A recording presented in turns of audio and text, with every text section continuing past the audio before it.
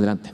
Bueno, yo voy a hablar de la emisión de metano y otros volátiles a la atmósfera por vertederos y las implicaciones medioambientales y, y desde el punto de vista de gestión o que tendría esta emisión de metano. Normalmente todo el mundo sabe que, que un vertedero es un reactor bioquímico donde su reactivo es el agua, el aire y los residuos sólidos urbanos. Y normalmente ese reactor bioquímico va a generar una serie de productos que son los lixiviados y el biogás, que es realmente CO2 metano más otros gases. Por supuesto, esto es un vertedero, eh, estas emisiones suelen estar controladas, no hace sistema de impermeabilización, bueno, yo de vertedero ustedes saben mucho más que yo, pero indudablemente ningún sistema es totalmente perfecto y siempre hay emisiones no controladas, eh, tanto de lixiviados, puede haberlo, como de biogás al medio ambiente. Y esa es de las cosas que yo voy a hablar hoy.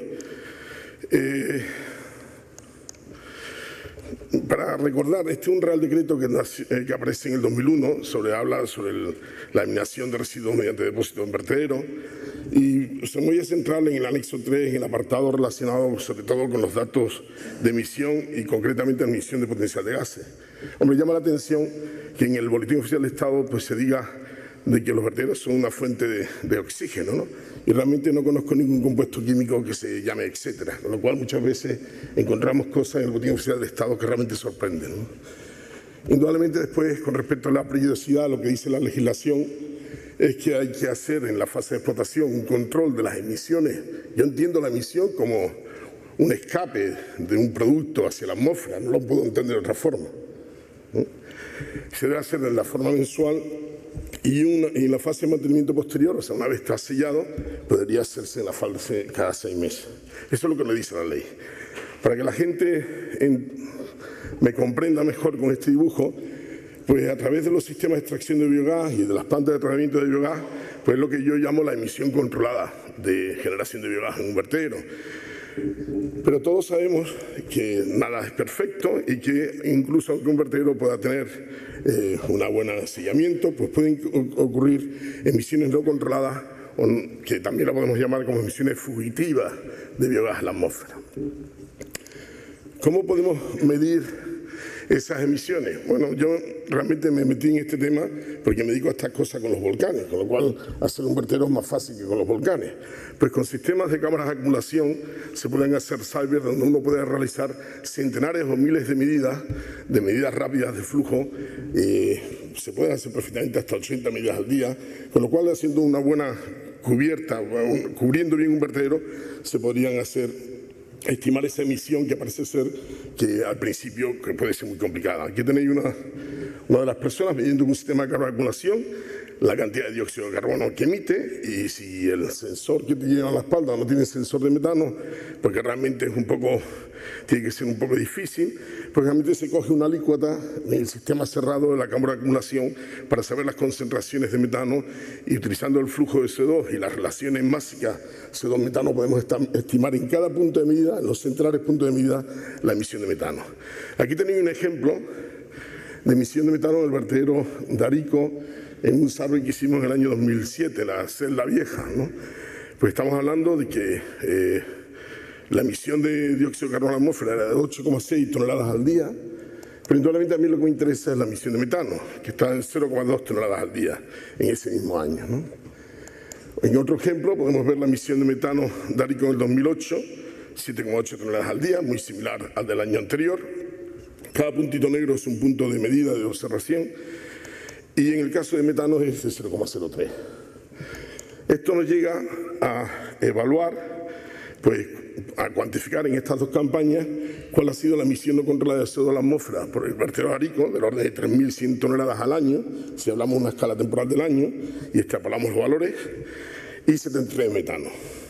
Si nos damos cuenta, lo primero que podemos ver nosotros sabemos que las relaciones molares CO2 dióxido de carbono en los gases de vertedero es del orden de 0,6 y 1,5, con lo cual sorprende, bueno, no sorprende, hay una explicación, donde vemos que ese ratio es mucho mayor en las emisiones fugitivas o no controladas, como consecuencia de una oxidación microbiana que hay siempre en la cobertera del vertedero. Con lo cual, una de las formas de reducir eh, la emisión de metano a la atmósfera emisiones verdaderas de metano en la atmósfera del vertedero se debe a este proceso de oxidación microbiana que suele ocurrir en la cobertura del vertedero.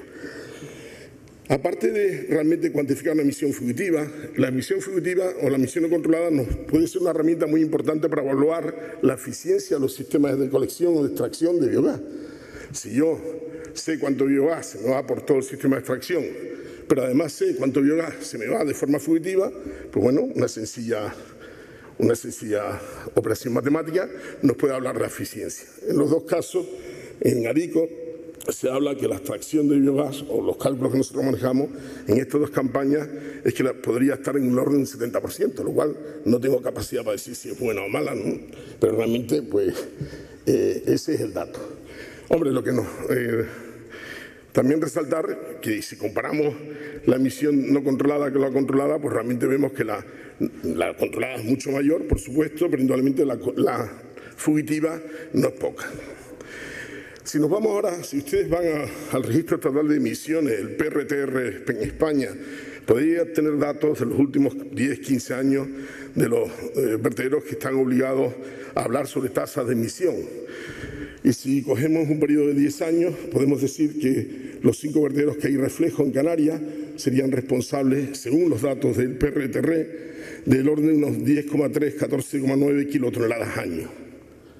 Hombre, me suena más los 14,9 que los 10,3 porque el 10,3 viene de un periodo de tiempo donde no hay tanta información, sino fundamentalmente del vertedero Arico y, Salto del Negro. Pero después de hacer nosotros muchos estudios, cerca de 19 surveys en distintos vertederos en Canarias, podemos hacer una extrapolación de cuánto realmente estarían emitiendo estos vertederos realmente a la atmósfera. Y no son, son casi la mitad. O sea, no son entre 10,3 y 14,9 que ustedes lo pueden coger del PRTR, del PRTR, sino del orden de 7,5 5,2. Aquí les muestro la evolución temporal de esa emisión no controlada que nosotros con el Cabildo de Tarifa hemos estado haciendo un seguimiento y podéis ver como al principio pues, la tasa de emisión fugitiva era muy grande, indudablemente desde el momento que se sella el vertedero se reduce, pero la reducción no implica que, eh, todavía deje de existir.